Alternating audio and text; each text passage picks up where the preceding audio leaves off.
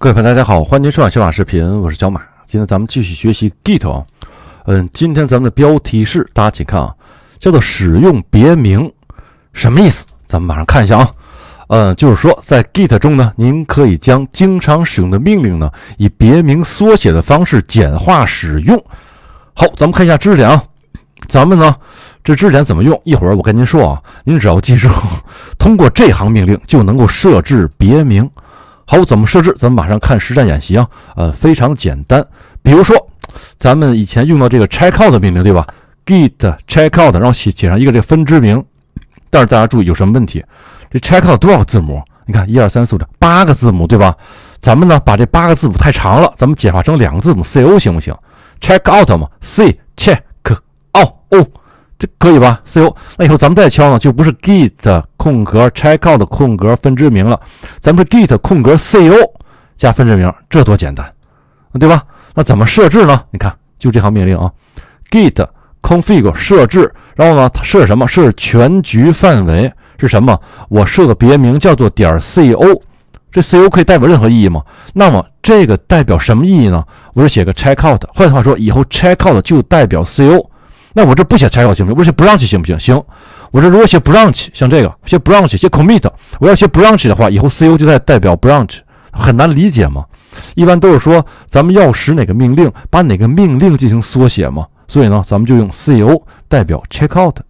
接下来咱们抛砖引玉啊，我想做 branch，那怎么做？br 呗，br 看着像回车，其实也不好啊。我用 br 代表 branch 命令，没问题吧？用 cm commit。Cm 有点像广告啊，cm 呢代表 commit，st status 代表 status，那这样的话呢，咱们以后呢就不用敲那么一大长串了，咱们只要敲 git 空格，然后两个字母呢就能够代表呃我们要实现的功能啊。好，咱们就是要实现一下这个例子喽。好，咱们马上打开啊，试一下看看这个缩写管不管用啊？那肯定管用嘛，对不对？咱们试一下啊，我进咱们的信息库 my web。先敲一个 git status，哎，大家请看，我现在敲是 git status，对不对？我要敲 st，它出来吗？试试啊！我还我还哎，我还没设呢，它怎么可能会出来呢？对不对？它不认识什么，对吧？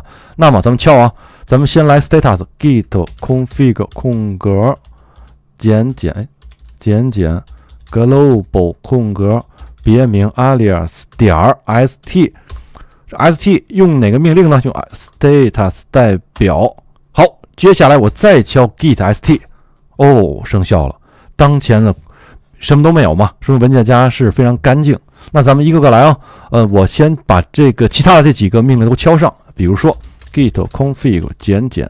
哎，我这个键盘真的是不好用啊。减减 global 空格 alias 点 co，然后呢，用 check out。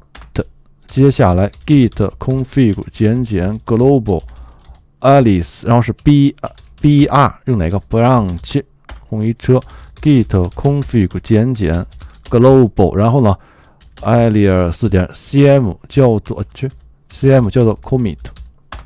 好，咱们可以大显身手了，咱试试啊。首先说，咱们先看一下现在咱们的信息库中有多少个分支，怎么敲 git branch。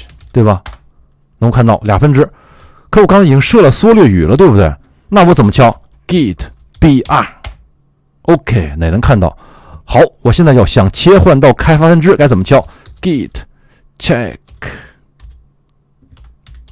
out。哎，稍等，对不起啊，我的键盘过两天换一个。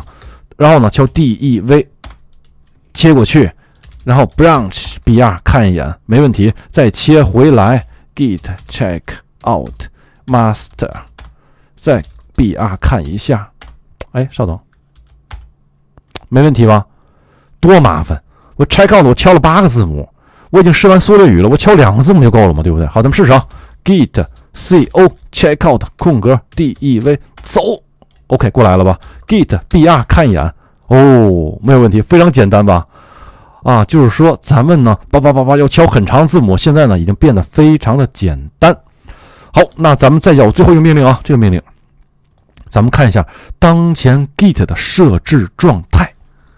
哎，稍等，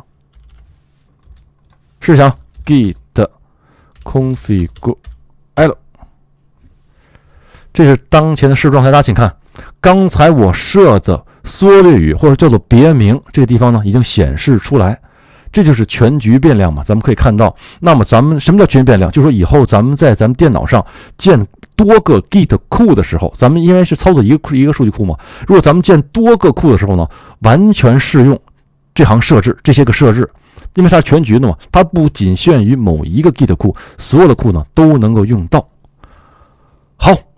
以上就是今天我给您讲的关于 Git 别名的信息，不知您听明白没有啊？接下来的话有一项建议也提供给您，咱们看一下啊。呃，当然呢，这种别名是根据每个人的使用不同习惯呢而不同，也可以在项目开始前呢，您呢作为 PM 把它规定下来。比如说，CO 就叫做 Checkout，BR 就叫做 branch CM 就叫 Commit，对吧？把它规定下来，使每个开发人员，呃，使每个开发人员呢都能够统一使用一套大家都认可的别名，这样呢提高咱们项目。管理这个项目团队中的开发效率，呃，这是一个非常好的建议呢，哎，提供给您。好，那今天的代码呢，我会放到开源中国的服务器。今天视频呢，会放到优酷 YouTube 供您观看。那这个视频就给您分享到这里吧，咱们明天再见，拜拜。